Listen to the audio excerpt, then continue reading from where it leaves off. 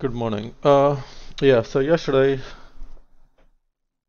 two winners, good odds, and also they were so the stake was two because they were ranked one and had expected value, and the probability and expected value. So there's two different filters that I use and they were both in it for so ranked one and the probability side so that's why there were two stakes on that.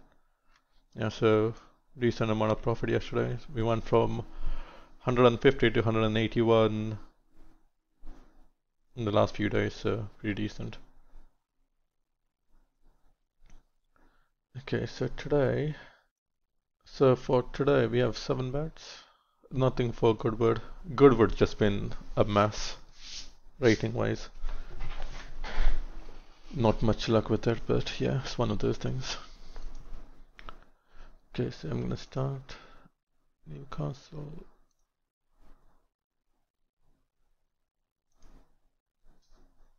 This is more than what we had. So one, and then there's two for this one and the one after. So one is the favorite, 2.5. I don't know if you're gonna get it matched, but we'll try 2.66.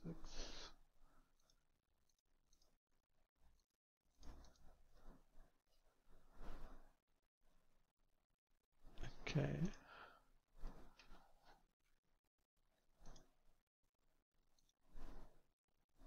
A lot of non-runners for this one. Um, 19. Oh, this is okay.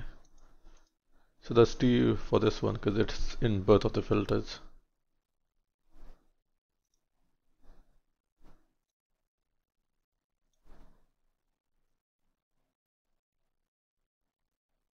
Where is this one? Born by the Sea. Oh, there you go. Uh, so it's basically doubled in price. 28 to 42, so that's good. Or bad, depending on how you look at it.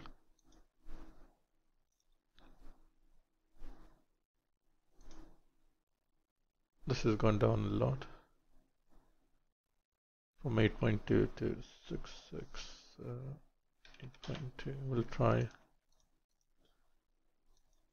take SP. And there's two for the next race. 7.8. Oh, this has gone down a lot too. And this one, yeah. It might be due to the non-runners in this race. But we'll try to get 10.5 and 14, which doesn't look likely, but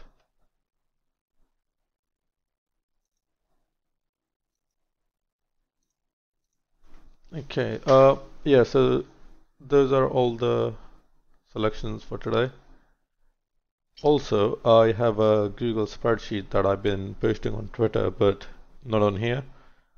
But I linked it in the description so you can find it. Let me just show you that.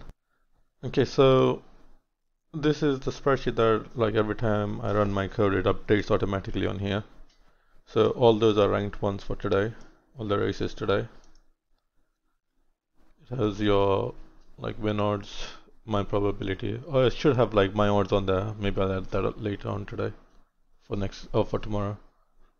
But it should have like my odds next to this, all that stuff. Um, and then you can do rank three. I don't know. I I was thinking about adding also like all of them just on one, so it'll be just like one after the other. So all the horses just like for each race let me know if you're interested in that because I can do it it's not really a problem but and then those are the trackers so all the bets for today and all the bets for yesterday and they just yeah and I had a, like a holiday from there to that so. Anyways yeah good luck